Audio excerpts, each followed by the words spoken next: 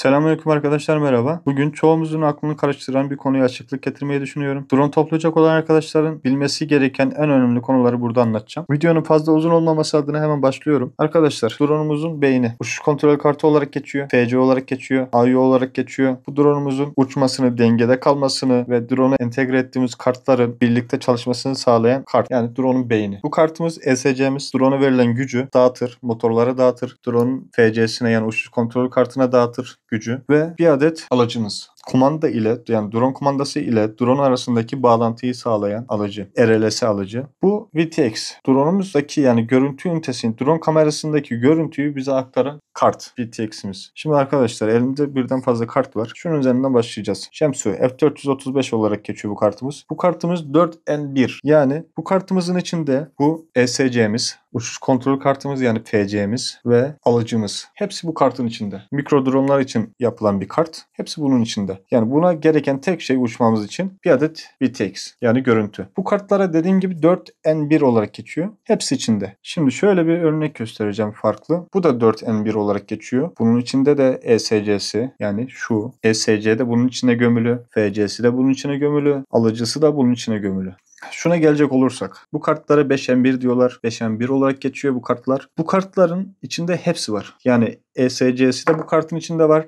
5N1. FC'si de bu kartın içinde var. Alıcısı da bu kartın içinde var. Bunlara da 5M1 diyorlar. Mesela örnek gösterecek olursak bakın bu alıcının anteni. Burada işte alıcının anteni bu değil. Bu VTX'in anteni. Bunda VTX yoktu. Bunda alıcının anteni kule anten diye geçiyor. Görüyor musunuz? Şu kule anten diye geçiyor. Bu normalde anten. Alıcının anteni. Bu da VTX'in anteni. 5M1 kartlar bu. 4M1 kartlar bu. 4M1 kartlarda görüntü VTX'i gerekli. Yani şununla görüntü almamız için şu görüntü VTX'ini buraya bağlamamız gerekiyor. Ama içinde RLS'si var. Herkese bunun gibi şu an elimde yok örnek olarak göstereceğim size. Kartımız daha var. 3N1. İçinde sadece ESC ve FC var. Alıcı da yok. Bunlara da 3N1 diyorlar. Bunlar mikro dronlar için. Bu kartların ne kadar küçülürse o kadar hafif olduğu için avantajımıza yani 5M1 kart bir görüntü VTX'i koymamıza gerek yok içine. Yani bu ağırlığı bundan çıkarıyoruz. Böyle olduğu için de maliyet biraz artıyor. Bunlar mikro dronlar için. Büyük dronlar için gelirsek. Arkadaşlar ESC. ESC'mizde şurada belki görüyorsunuzdur. 55 amper yazıyor. Bu 55 amper her kola ayrı ayrı 55 amper verdiğini gösterir. Yani bak 4 çarpı 55 gerçi yazıyor bakın. Şunlar şu üçü. Bu üçü bunların her üç, yani üçlüsü her grup drone motorunun bağlandığı gruplardır. 55 amper. Bunların amperi yok. ESC'lerde amper yok.